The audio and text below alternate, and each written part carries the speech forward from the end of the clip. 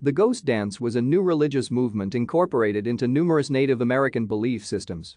According to the teachings of the Northern Paiute spiritual leader Wovoka, proper practice of the dance would reunite the living with spirits of the dead, bring the spirits to fight on their behalf, end American westward expansion, and bring peace, prosperity, and unity to Native American peoples throughout the region. The basis for the ghost dance is the circle dance, a traditional Native American dance. The ghost dance was first practiced by the Nevada Northern Paiute in 1889.